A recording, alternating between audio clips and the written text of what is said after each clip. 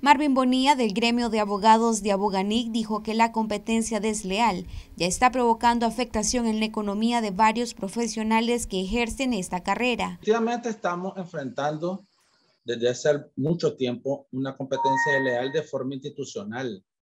Es decir, la Corte Suprema de Justicia o el Poder Judicial creó eh, mediante un acuerdo, que es el número 48, la institución de la Defensoría Pública. A la Defensoría Pública, a través de ese acuerdo, ya no le da las mismas facultades que históricamente tenía. Históricamente el defensor público se le otorgaba a la persona que no tenía eh, abogado defensor en un juicio penal. Entonces, ¿qué hizo la Corte? Mediante un acuerdo, este acuerdo 48 lo que hizo fue de que a los defensores públicos ahora les da más facultades que las que establece este, eh, o que establecía el, Código Penal anterior. Ahora los defensores públicos hacen demandas, eh, realizan escrituras, llevan juicios civiles, llevan juicios de familia.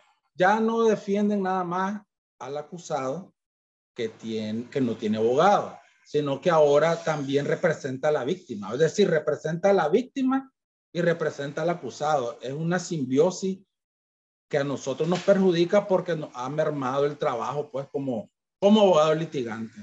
Bonilla hace un llamado a las autoridades a regular estas facultades y a los abogados a que tengan conciencia con el valor de los servicios. Yo le diría a los abogados, especialmente los que están en el SUMEN o en migración, ¿verdad? De que tengan conciencia en lo que se refiere a, a, los precios. Sinceramente, los precios este, están bien bajo.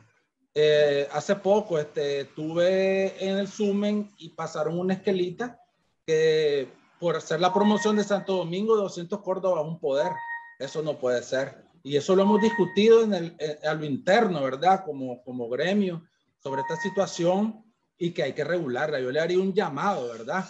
A todos los abogados y notarios que están en el Sumen, en migración y en otros lugares, que flexibilicen y pongan un, un precio a los instrumentos públicos que sean acorde a la realidad y no tan bajo. Para Noticias 12, Gabriela Solórzano.